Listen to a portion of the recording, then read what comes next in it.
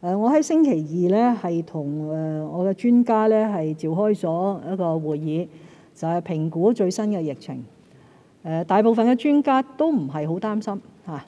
誒認為咧就誒由於呢個 Omicron 嗰個傳播力咁強啦，但係同時間咧就係亦都病徵係輕微，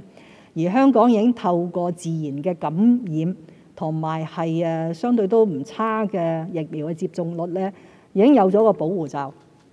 但係呢個保護唔會令到我哋冇感染嚇。我哋成日講打針咧係免咗重症同埋死亡，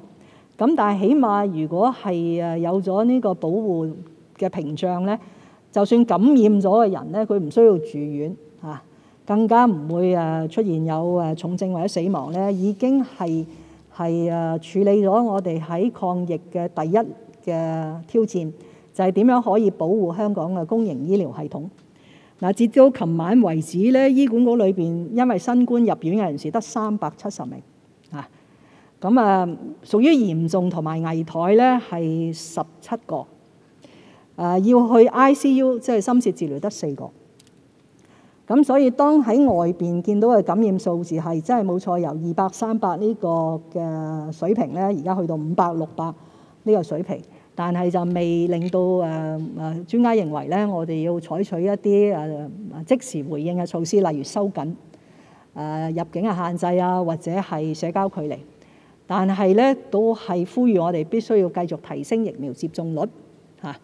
咁啊，唯有提升疫苗接種率咧，先可以令到香港更加安然度過誒冇辦法避免到嘅病毒嘅傳播啊。咁所以我哋將會喺嗰個疫苗接種率嗰度咧，係繼續誒做我哋嗰個努力啦。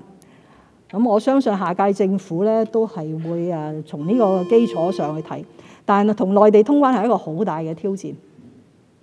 因為到而家好清晰㗎啦，就誒大部分海外嘅國家係一套嘅抗疫嘅理論同埋措施，我哋嘅國家係另一套嘅理論同埋措施。咁我哋企喺中間咧。我哋就要真係要好小心嚟到去啊評估，究竟喺咩時候採取啲咩措施，可以相對做到一個兩全其美嘅方案啊！但係誒呢個係真係好考功夫。我可以話俾你聽咧，誒如果係用翻舊年九月到十二月討論嘅基礎咧，誒短期係睇唔到